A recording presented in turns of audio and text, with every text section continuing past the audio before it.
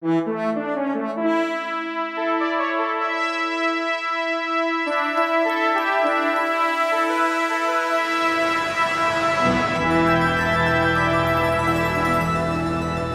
Roger Taylor. This is my little boat Ming Ming. She's a modest little boat, little Corribee, which uh, is a very favourite starter boat, but I uh, consider it to be my finisher boat, having always been a contrarian. She's completely rebuilt, modified, honed, adjusted um, for the kind of sailing I do, which is very long distances offshore and generally non-stop. Uh, and the whole sort of principle behind the boat is that it can be sailed inside from the hatchway, so I very rarely exit the hatch. Um, everything is designed that I can manipulate sails, steering gear, whatever it is, without having to go on deck. So I spend my time below uh, warm, uh, dry, uh, relaxed, loose clothing, very rarely ever wear wet weather gear. Um, and it's like a sort of extended monastic retreat. As far as the Jester Challenge is concerned, as soon as I read about it in 2005, I knew that I'd participate.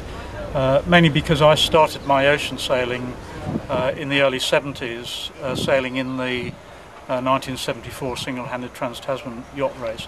And that was the very early style yacht race. Uh, there were 10 yachts in that race, most of them self-built, uh, no real racing yachts, no sponsorship, no commercialism. Um, it was just a, a, pure Corinthian challenge for individual skippers. And that's, of course, how the, the original transatlantic races started. And I just love the idea that, that uh, what the Jester Challenge does is that it, it in, almost brings us full circle to the original spirit of the transatlantic races. So as soon as I read about it, I wanted to contribute to that because I believe in it very strongly. Uh, the Jester Challenge is a very, very loose sort of uh, concept, and uh, although it's basically to Newport, Rhode Island, uh, the main idea is, is that every skipper should get their boat to wherever they want to get to in good order, and that is the principle. We're not racing, we're not competitive, and uh, I've become very uh, attached to high latitude sailing over the last few years. Um, I've been to the Arctic, um, to Iceland, Greenland, Jan Mayen Island, uh, and what I very well will do for this voyage, instead of going to Newport, I mean, sure it's a lovely, lovely place, um, but I prefer wild, uh, more, exotic places, is that um, uh, I will, as it were, turn right past Greenland rather than left, and uh, I I will try and get into the Arctic Circle to the west of Greenland, which will mirror the voyage I made last year, where I sailed in the ice in the Arctic Circle on the east of Greenland. Oh, that's Ming Ming, Roger.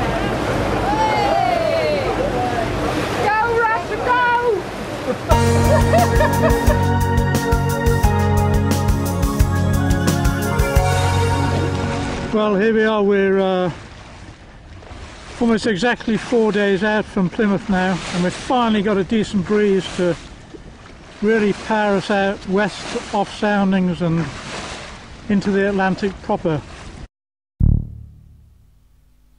This is a rather serious sort of update now. It's the uh, 26th of June, so our 35th day at sea. This is where we are, we're in 60 42 north, 5331 west, and the good news is that that puts us well to the to the west of Greenland, which was one of the first um, objectives of this voyage. However, there's some bad news as well. Here's Cape Farewell, the southerly tip.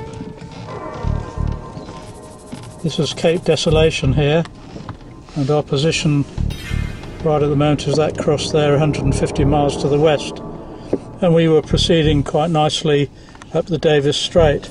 However, at just after midnight here about 20 miles to our east we got a really bad knockdown. We've been in heavy weather for two days now, a terrific gale part of the time, easing a little bit now but it's been pretty rough. We got knocked down, I got thrown out of my bunk across the cabin, caught my ribs on the corner of the chart table and I'm afraid I have um, broken a rib. So that puts paid to continuing with the voyage. I have thought about the possibility of putting in to one of the Greenland ports, but this is a terribly dangerous coastline. Uh, it's the mother of all lee shores if you get a westerly. The, harbour's almost impossible to sail into, and this time of year there'll still be a lot of sea ice here, and then icebergs carving off these glaciers. Uh, there's only two harbours anyway, and these are much further north that can actually lay up a yacht because that would be the only thing I could do.